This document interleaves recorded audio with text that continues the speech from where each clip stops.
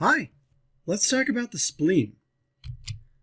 The spleen is found in the left hypochondriac region of the abdominal pelvic cavity. It has a visceral surface.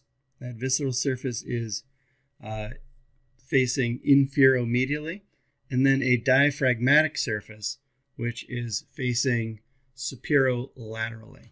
That visceral surface has several different uh, faces to it, so or impressions. There is a colic impression that is associated with the splenic flexure of the uh, large intestine. There's a gastric impression, which is associated with the stomach, and then we can't see this because it's deep. There's also a renal impression that is in association with the left kidney.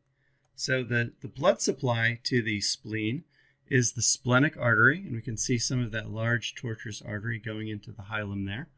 There's also a splenic vein that drains the spleen and is one of the two major constituents for the hepatic portal system. So that splenic vein uh, coalesces with the superior mesenteric vein to form the hepatic portal vein.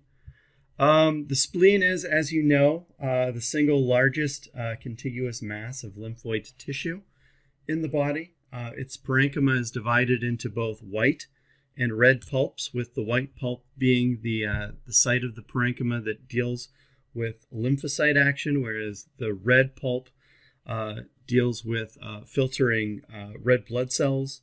Uh, there's platelet sequestration as well as hemopoiesis.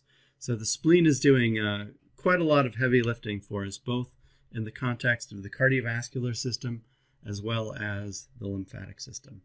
Thank you very much for your time.